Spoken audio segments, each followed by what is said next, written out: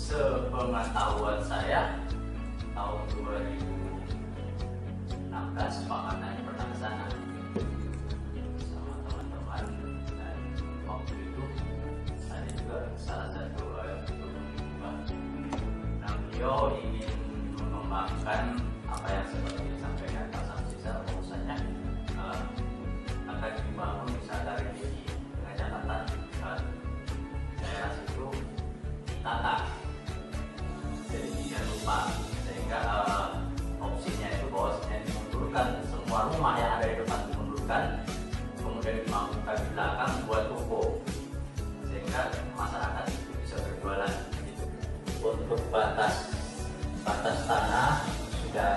sudah jelas. Dan ulun yakinkan insya Allah tidak ada lagi akan tambah bangunan di situ.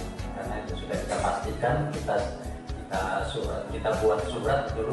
Memang sudah cepat kita antisipasi kita buatkan surat atas nama desa.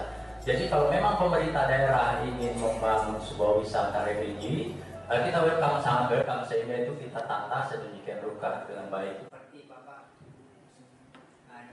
kepala desa juga anunya saya mulai tinggal di Kubah itu tahun 60 jadi tahu semua perbatasan Kubah itu ada. Kurang itu ada sampai ke laut.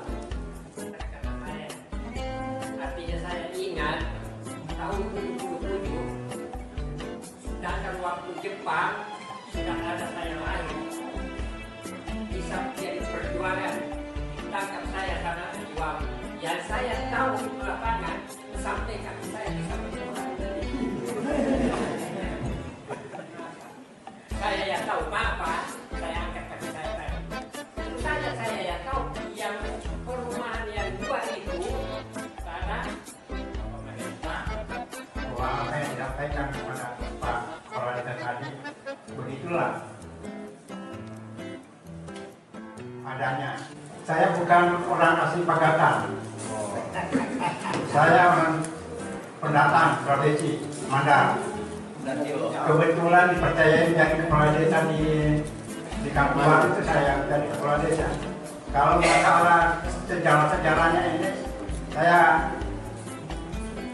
tidak bisa me- membeberkan secara rinci. Tapi setahu saya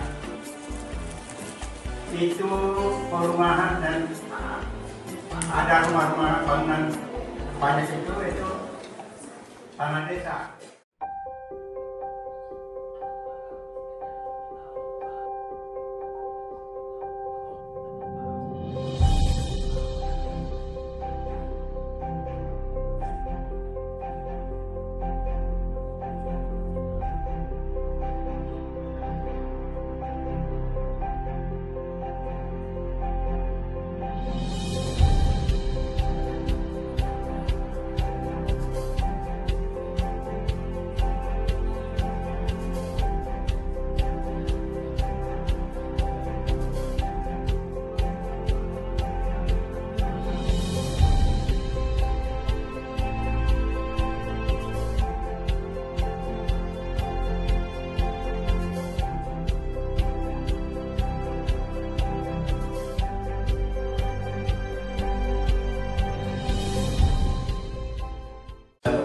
Pemerintah daerah agar segera menyelesaikan permasalahan-permasalahan yang ada di Kubah Pagatan termasuk juga tanah dan sebagainya. Jadi sebuah harapan kita pada.